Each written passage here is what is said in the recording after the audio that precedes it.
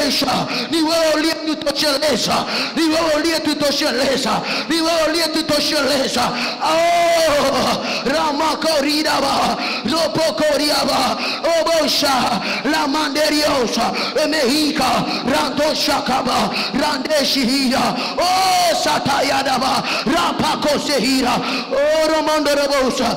Asante roho mtakatifu. Asante roho bwana. Robokosakaramandoshi oh, mwadhimishe tu bwana kwa maneno ya kinywa chako. Oh, ramakoribo shahara lamando orobosa karamanda oromondorobobosa karika manda shakaya. Mandeshe shehira manda.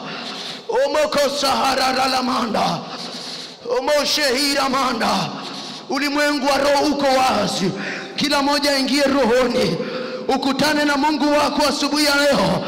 Oh, rimosakayarama robobosataramanda landeshehikayaraba robokoriramanda labakoshata rabakorimanda robokoriramanda labrakoshatata lamanderebosa lekashehiramando robokoriramousa ramandorosa harabosha Oh, damu ya Yesu, ninakushukuru Roho Bwana, ninakushukuru Roho Mtakatifu, ninakushukuru Roho Mtakatifu, ninakushukuru Roho Mtakatifu kwa ajili ya watu hawa wanaokutafuta kila asubuhi. Oh, rima hosha kaya la mando, kutana na watu wako Bwana, kutana na watu wako Bwana, kutana na haja za mioyo yao, kutana na haja za mioyo yao. Roho Mtakatifu jifunue katikati yao. Oh, dhihirisha yale mapenzi yako kwao, kutana na yale ambao Bwana wanahitaji, kutana na yale ambao Bwana wanahitaji. Ukasema mtakwenda mtaniita na kuomba nami nitawasikiliza. Oh, na kila ambaye hupewa, kila atafutaye hupata, na kila abishaye hufunguliwa, kwa ajili ya utukufu wa jina lako. Asante Roho Mtakatifu.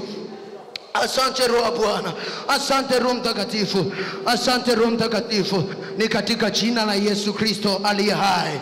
Asante Yesu. Hebu mshangilie Bwana kwa mikono yako. Haleluya, haleluya, haleluya, haleluya. Bwana Yesu apewe sifa, Bwana Yesu apewe sifa. Tuko mbele za Bwana. Haleluya, haleluya. Mm, tuangalie Biblia kwenye kitabu cha Timoteo wa kwanza, Timoteo wa kwanza sura ya pili mstari ule wa kwanza. Timoteo wa kwanza sura ya pili mstari ule wa kwanza na wa pili. Biblia inasema anasema, basi kabla ya mambo yote nataka dua na sala na maombezi na shukrani zifanyike kwa ajili ya watu wote, kwa ajili ya wafalme na wote wenye mamlaka, tuishi maisha ya utulivu na amani katika utauwa wote na ustahifu. Tuishi maisha ya utaua na amani mm, tuishi maisha ya utulivu na amani katika utaua na ustahivu wote. Bwana Yesu asifiwe. Bwana Yesu asifiwe. Nataka tuende mbele za Bwana nikuongoze kwenye haya maombi kwa ajili ya kuombea uongozi wa kanisa. Haleluya, haleluya. Bwana Yesu asifiwe. Tumekuwa tukiombea viongozi wa kanisa na leo ninataka tuende deep zaidi. Bwana apewe sifa.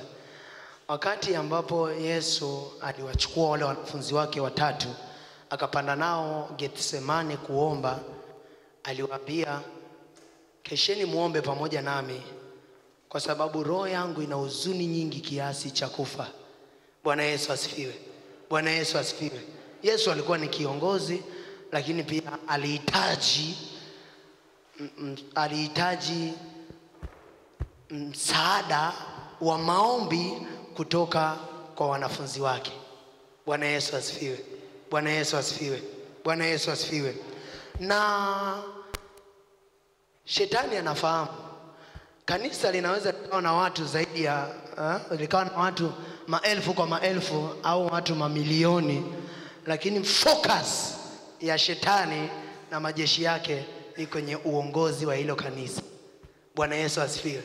Bwana Yesu asifiwe. Bwana Yesu asifiwe. Focus ya shetani ni kwenye uongozi.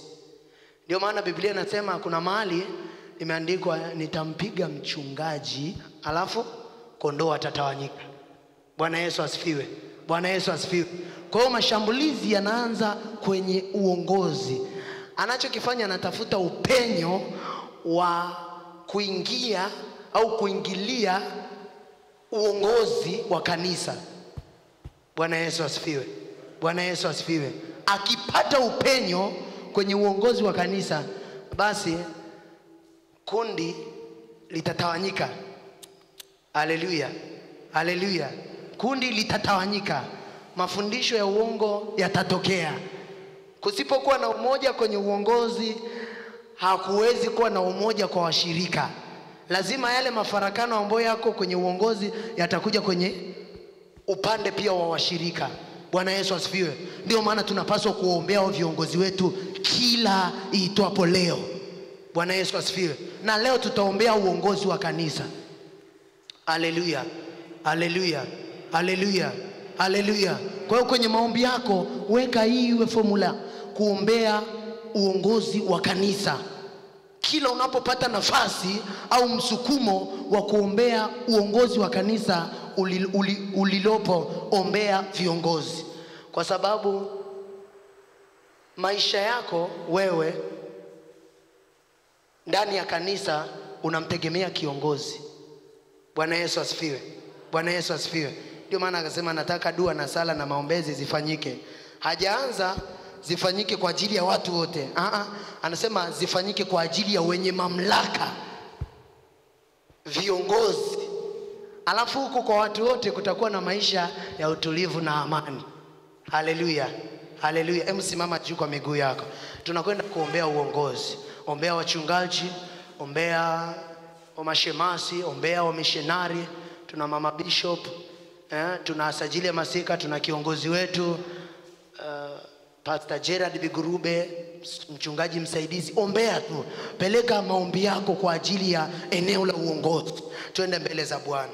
Baba, katika jina la Yesu Kristo wa Nazareti, asante Roho Mtakatifu. Kabla ya mambo yote, umesema unahitaji maombezi yafanyike kwa ajili ya wenye mamlaka, kwa ajili ya uongozi. Tunakuja Bwana kwa ajili ya kanisa letu, tunaleta uongozi mzima wa kanisa letu katika jina la Yesu Kristo wa Nazareti.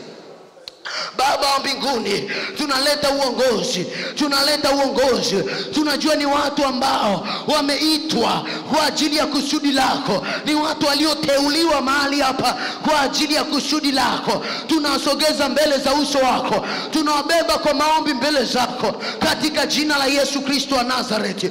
Baba wa mbinguni, ninaomba Bwana, ninaomba Bwana, ninaomba Bwana kwa ajili ya mchungaji kiongozi, ninaomba Bwana kwa ajili ya mchungaji kiongozi, kwa ajili ya mbeba maono wa kanisa hili katika jina la Yesu Kristo. Hebu ombea tu, ombea tu, omba, jiachilie tu mbele za Bwana, peleka maombi yako, usiombe kilegevu, omba kwa bidii kwa ajili ya uongozi, omba kwa bidii kwa ajili ya uongozi. Focus ya shetani na majeshi yake ni kwa ajili ya uongozi. Ombea Bwana awape hekima, Bwana awape maarifa. Oh, ramakopo shata robromoko sehira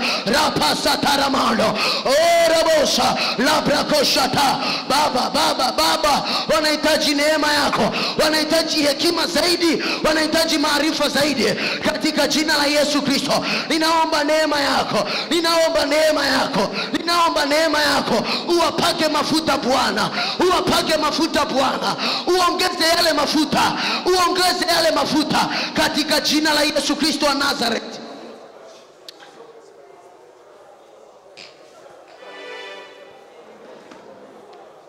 Nataka nikusikie ukiomba. Nimenyamaza nisikie sauti yako. Nataka tuwe pamoja kwenye haya maombi.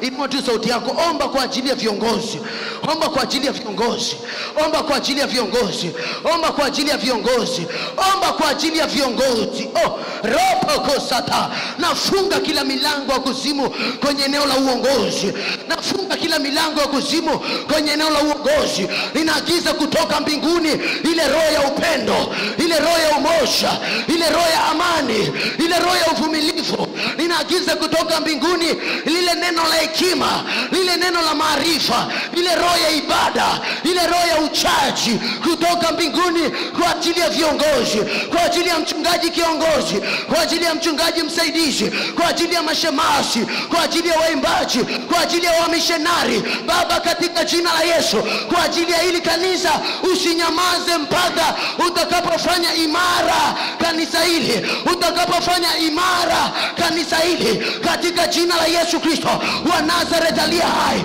Karibu Roho Mtakatifu, tamalaki mahali hapa, tamalaki mahali hapa, tamalaki mahali hapa. Linda uongozi wa kanisa lako, linda uongozi wa kanisa lako, linda uongozi wa kanisa lako. Achilia maarifa yako Roho Mtakatifu, maarifa ya utendaji kazi katika nyumba yako.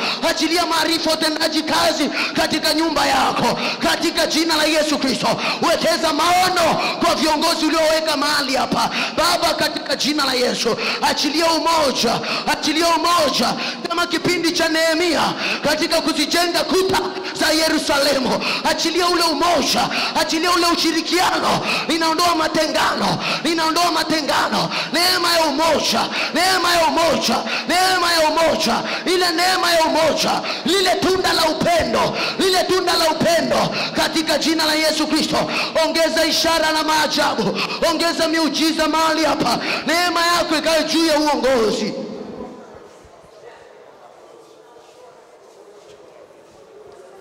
Omba tu mbele za Bwana kwa ajili ya viongozi.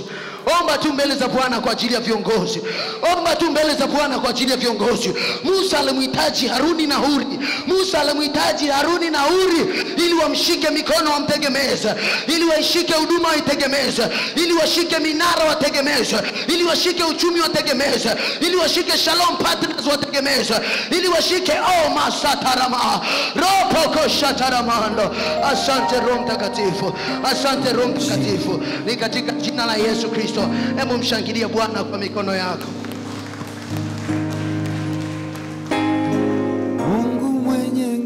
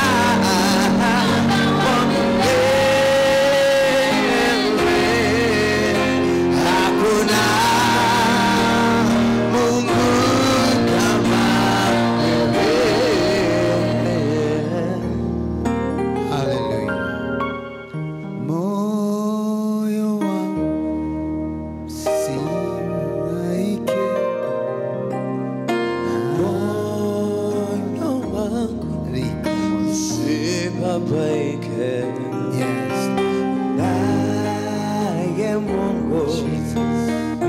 Mkuu sana. Chiachie mbele za sawa yote, chiachie mbele za moyo wangu, oh, rabasi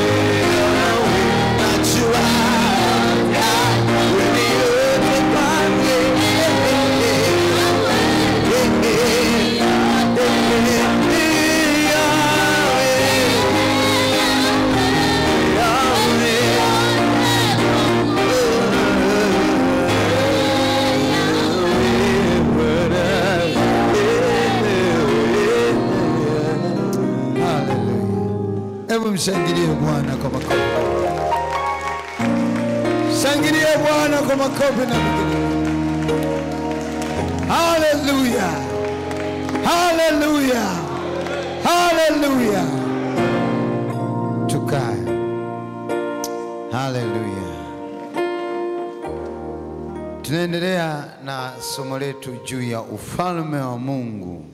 Bwana siwe. Kanuni za ufalme wa Mungu, kanuni za uchumi wa ufalme wa Mungu. Tuko hapa duniani, tuna jambo letu. Bwana siwe. Tumekuja kwa kusudi. Mungu ametuchagua, ana ajenda maalum kwa ajili yetu. Bwana asifiwe. Wengi wameokoka lakini hawajielewi kwa nini wameokoka. Nilikwambia historia ilivyokuwa tangu bustani ya Eden. Mwanadamu aliumbwa ili amiliki na kutawala, sio kuishi maisha ya tabu na shida kama jinsi ambavyo mazingira yanawatawala wanadamu sasa. Baada ya shetani kuvamia eh, dunia ambayo Adamu alipewa, Mungu alianza mpango wa kumkomboa mwanadamu, kurudisha ufalme wake hapa duniani. Mungu anatawala duniani na mbinguni. Alimpa mwanadamu hapa kama mfalme, lakini ule ufalme akanyang'anywa na shetani. Mungu akaanza hatua kwa hatua, akaanza na Ibrahim, akaendelea likatokea taifa la Israeli. Sasa Mungu anaongea nini na taifa la Israeli? Ukisoma katika kitabu cha Kutoka kumi na tisa wakati anawaandaa anawaeleza sababu ya yote niliyowafanyia, nina lengo. Mungu amekuweka hai mpaka leo, uzima ulio nao, afya ulio nayo, kazi ulio nayo, elimu ulio nayo, chochote ulicho nacho, Mungu ana mpango na wewe. Mungu hajakuweka duniani kwa bahati mbaya. Ni vizuri sana ukajua kile Mungu alichokikusudia. Kutoka kumi na tisa tukiangalia mstari, anzia mstari wa nne, anasema mmeona jinsi nilivyowatendea wa- wa Misri na jinsi nilivyowachukua ninyi juu ya mbawa za tai, nikawaleta ninyi kwangu mimi. Sasa basi, ikiwa mtaitii sauti yangu kweli kweli na kulishika agano langu, hapo ndipo mtakapokuwa tunu kwangu kuliko makabila yote ya watu, maana dunia yote pia ni mali yangu. Nanyi mtakuwa kwangu ufalme wa makuhani na taifa takatifu. Hayo ndiyo maneno utakayowaambia wana wa Israeli. Musa anawaambia wana wa Israeli kitu Mungu amesema kwamba nimewapitisha kote huko, nimewapiga Wamisri mapigo kumi kwa lengo tu, kuna jambo nataka kulifanya kupitia nyinyi, nataka kurudisha ufalme. Bwana asifiwe. Kuna ufalme nataka kurudisha. Bwana asifiwe. Taifa la Israeli likawa mfalme wake ni Mungu, halikuwa na mfalme. Baadaye wakasema, mbona wenzetu wana wafalme?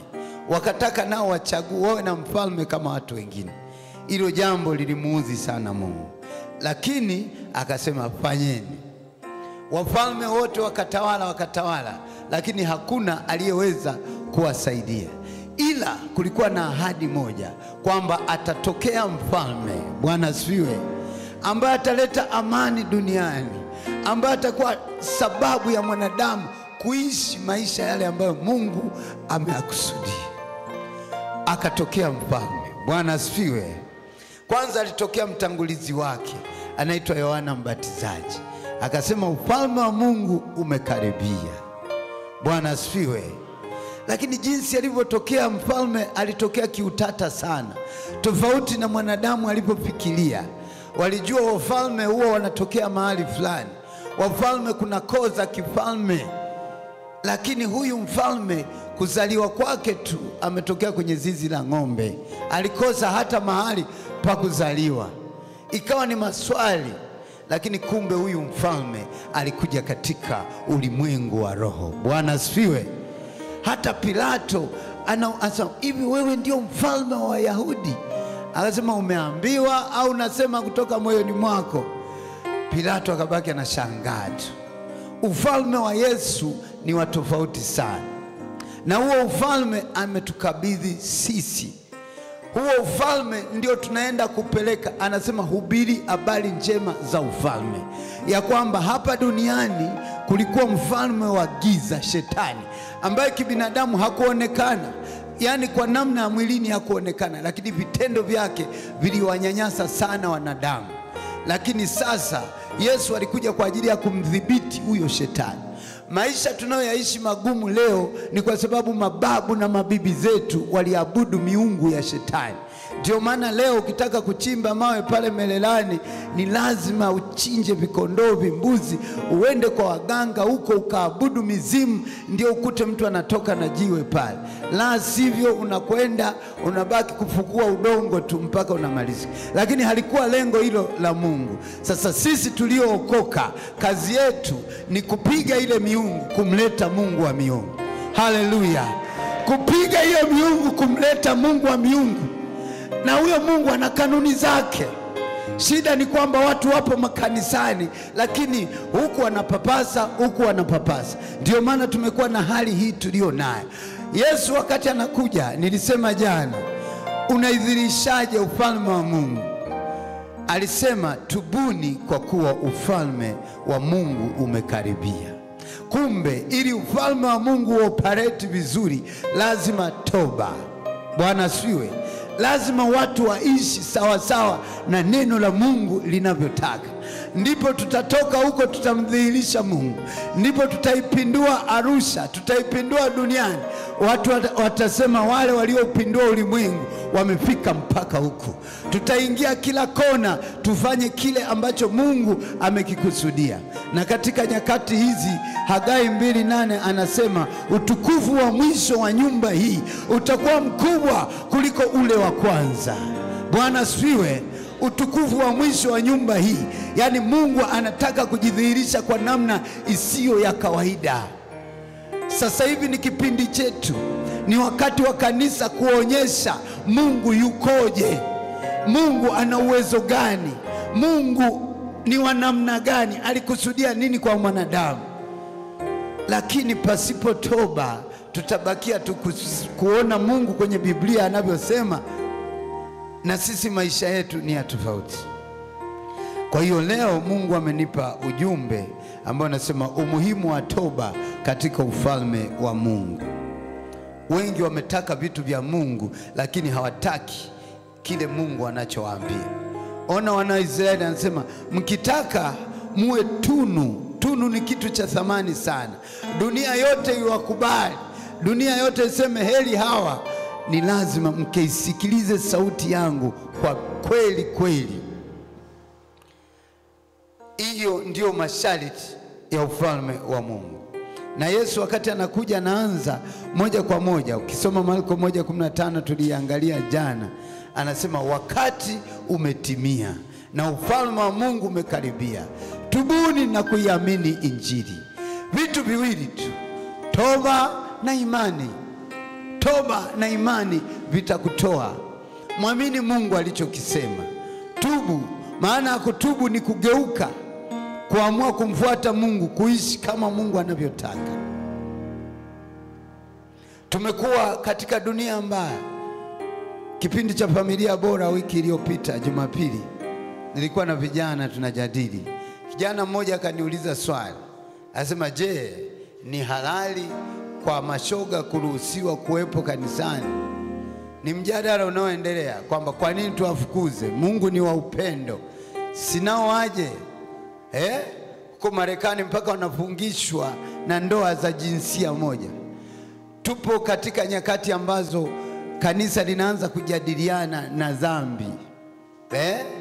Badala ya kuishi maisha matakatifu, kanisa mengine yameruhusiwa Nilikutana na baadhi ya wachungaji kule, wanasema kiuhalisia, yaani watu wapo kanisani, sigara wanavuta, pombe wanakunywa. Nikasema, mchungaji, unafanya kitu gani hapa? Anaanza kuelezea, ataelezea na vifungu anavyo kwamba unajua upendo, upendo.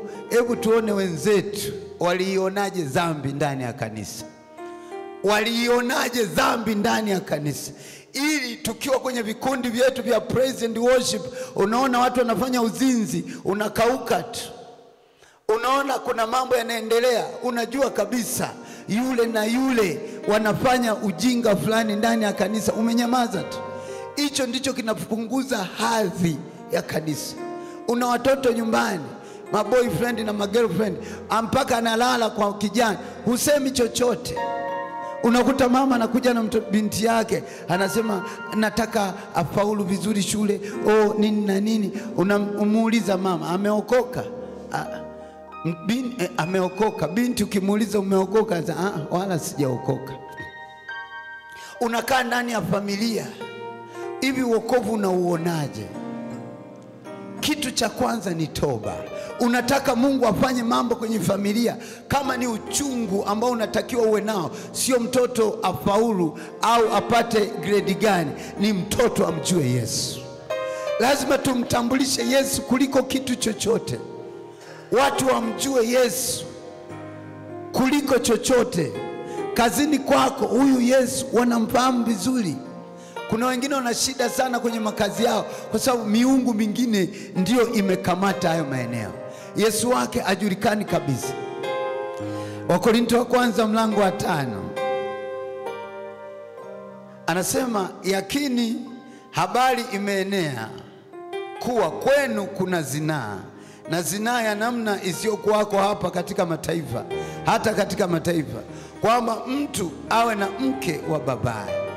Nanyi mwajivuna wala hamkusikitika, ili kwamba aondolewe miongoni mwenu huyo aliyetenda jambo hilo. Kwa maana kweli nisipokuwapo kwa mwili, lakini nikiwapo kwa roho, mimi mwenyewe nimekwisha kumhukumu yeye aliyetenda jambo hilo, kana kwamba nipo. Paulo anaongea na Wakorinto. Wakorinto ni kanisa. Wakorinto ni watu ambao wameokoka, wamemfuata Yesu, lakini amepata taarifa kwamba kuna zinaa, kwamba kuna uchafu unaendelea ndani ya kanisa.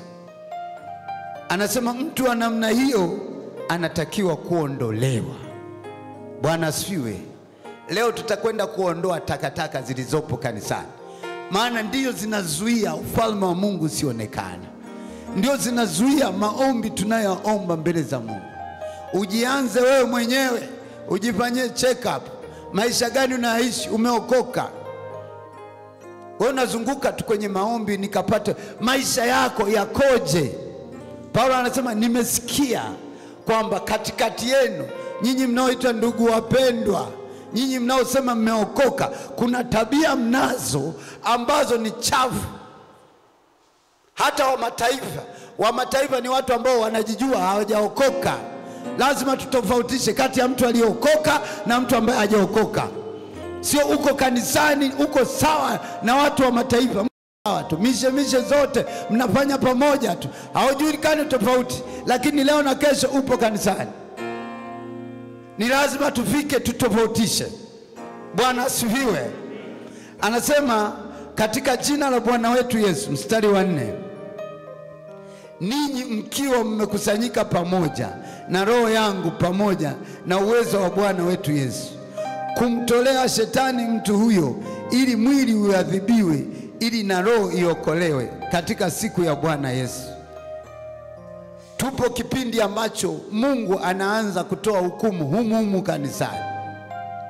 Mungu anaanza kutembea kanisani. Si tunataka Mungu atende? Si tunataka uwezo wa Mungu uonekane? Mungu anataka kulisafisha kanisa. Hii ndio taarifa ninakwambia.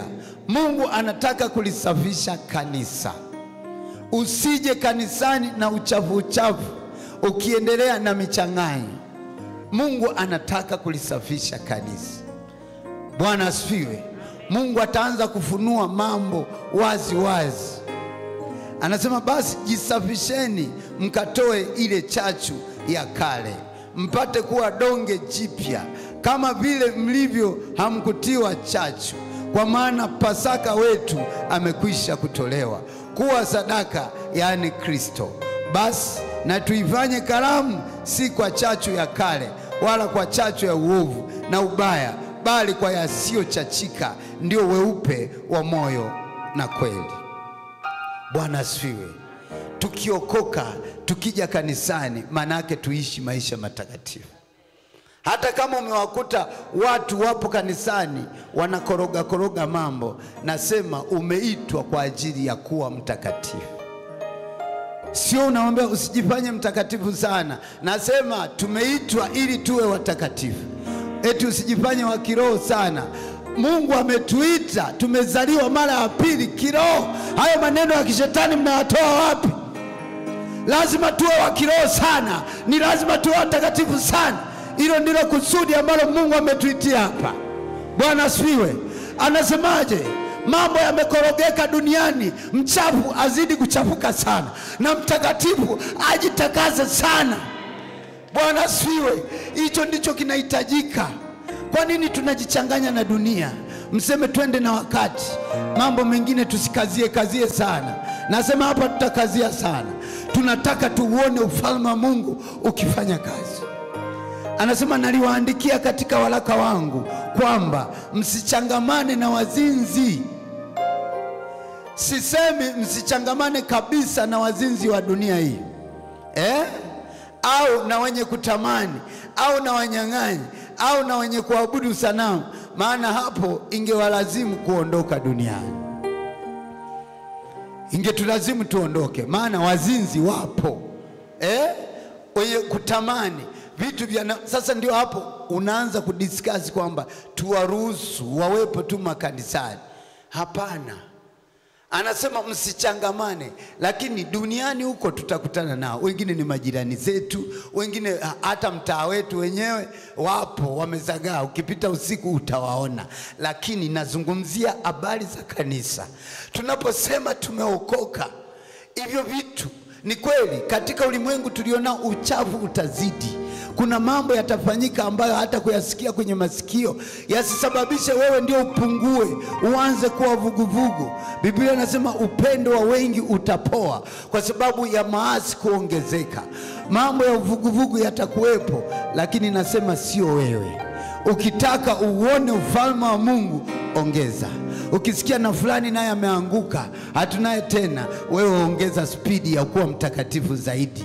Ukisikia sijui uchafu huu na huu umefanyika, usiseme ah, sasa taa kanisani siende, siendi. Nakwambia tuko nyakati za mwisho, utasikia mengi mengi utayasikia, yasipunguze spidi yako ya kumtafuta Mungu, yaongeze. Bwana asifiwe, Bwana asifiwe. Maana kuna wengine wanapoona mambo maovu, hata mchungaji fulani amefanya kama haya, basi hata kanisani siendi. Wewe uliokoka kwa ajili ya mchungaji fulani, uliokoka kwa ajili ya mtu fulani, ni Yesu amekuita. Tumeitwa tuje katika ufalme. Shika sana ulicho nacho, asije mtu akakunyang'anya. Bwana asifiwe, Bwana asifiwe. Lakini mambo yalivyo naliwaandikia kwamba msichangamane na mtu aitwaye ndugu akiwa ni mzinzi au mwenye kutamani au mwenye kuabudu sanamu au mtukanaji au mlevi au mnyang'anyi. Mtu wa namna hii msikubali hata kula naye. Eh? Meona kwenye matamasha ya Pasaka watu wanakula na wazinzi. Haleluya! Hebu tusimame kwa miguu yetu. Leo tunakwenda kukataa. Hatutaki michanganyo ndani ya kanisa. Hatutaki watu wajichanganye, kwamba tu lazima waelewe Mungu tuliye naye tofauti. Maana jamani, Mungu si ni yule yule, tupite kwa huyu tupite. Mungu hakuna cha Mungu yule yule. Yesu ndio njia, kweli na uzima. Lazima tuwaambie watu ukweli. Yesu wetu ni wa tofauti, sio wa michanganyo. Kama mtu ni mzinzi, mwambie wewe ni mzinzi, hata kula chakula chako staki, hata unialike kwenye sherehe yako siji. Lazima tufike mahali tumwonyeshe Mungu wetu. Na watu wamjue Mungu wetu, ndipo hazina zilizofichwa sirini zitakuja, ndipo uchumi wetu utaonekana ni wa tofauti, ndipo baraka za Mungu tutaziona katika maisha tuliyo nayo. Bwana asifiwe. Anasema maana yanihusu nini kuwahukumu wale walio nje, ninyi hamwahukumu hao walio ndani? Sisi huku huku, ndugu wapendwa, lazima tushikane mashati. Acha ujinga unaofanya, acha, la sivyo tutakukabidhi kwa shetani akushughulikie. Eh, ndipo ujitambue vizuri, urudi tena. Watu wengi wamekabidhiwa kwa shetani, shetani amewashikilia, bado analalamika tu, mbona uchumi sitoki? Jikague, maisha yako unaishije? Shetani amekukang'ang'ania tu, mizimu haikuachii kwa sababu ya tabia zako. Maisha yako yakoje? Mungu anataka kujidhihirisha kwa namna isiyo ya kawaida katika nyakati tulizo nazo. Hebu tuende mbele za Mungu kwa toba. Anasema, lakini hao walio nje Mungu atawahukumu. Ninyi muondoeni yule mbaya miongoni mwenu. Kabla tujamuondoa mbaya katikati yetu, hebu anza kuondoa wabaya ndani yako. Oh, nenda mbele za Bwana, jikague. Hivi kweli maisha yako ya wokovu ni sawa? Ili upate hizo hazina zilizofichwa sirini. Yesu anataka utakatifu, sio miujiza. Yesu anataka utakatifu.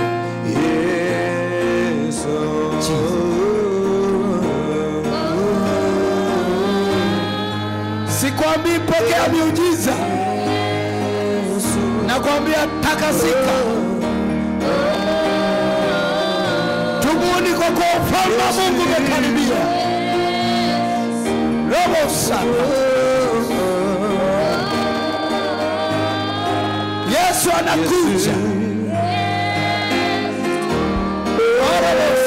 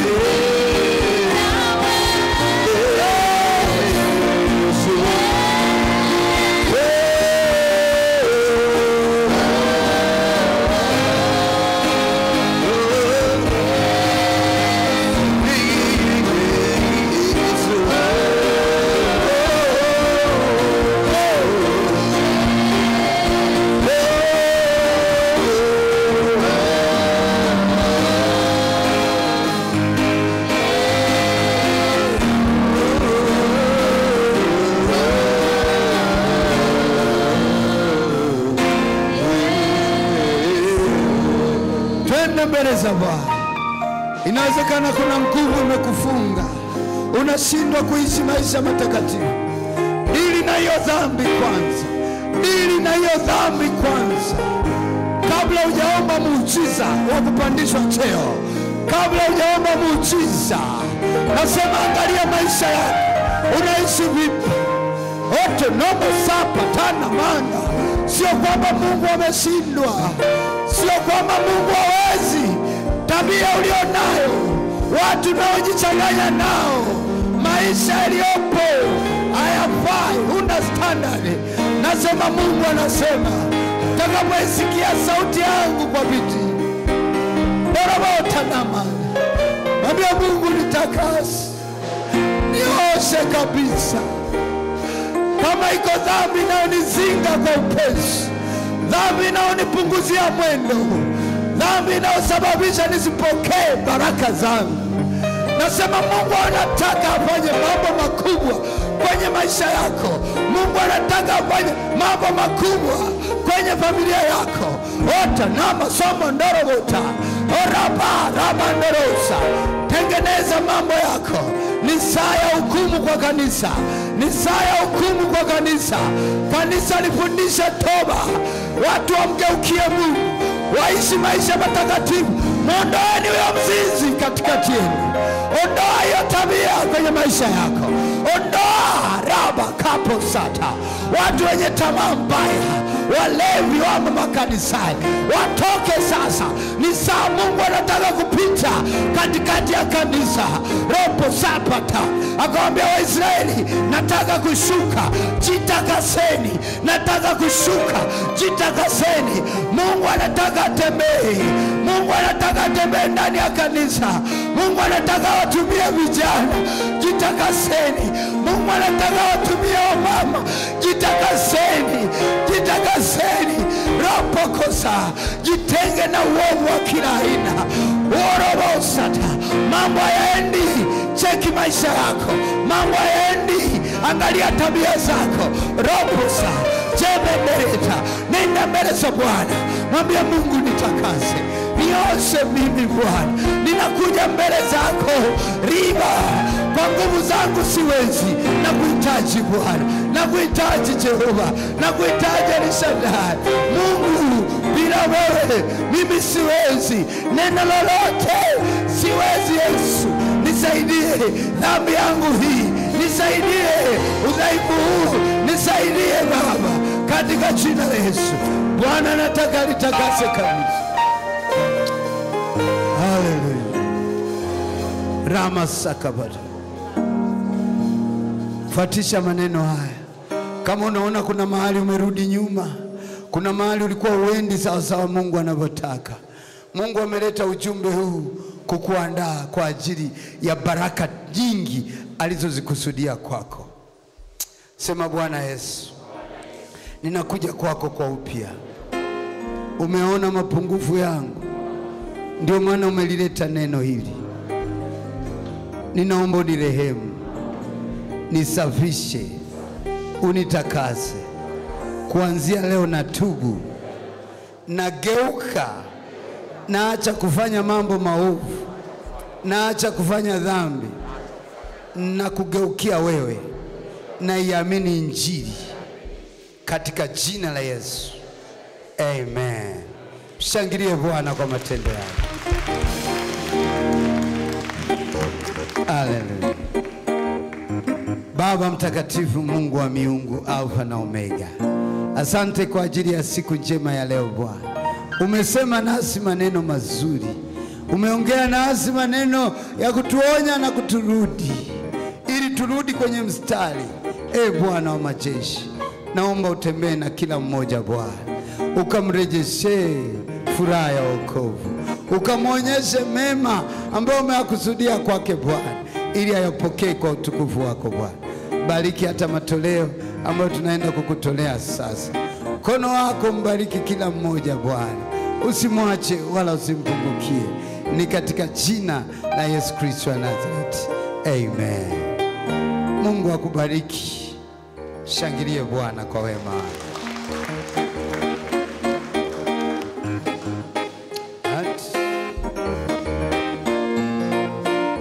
Naendelea na huduma ya mtu mmoja mmoja.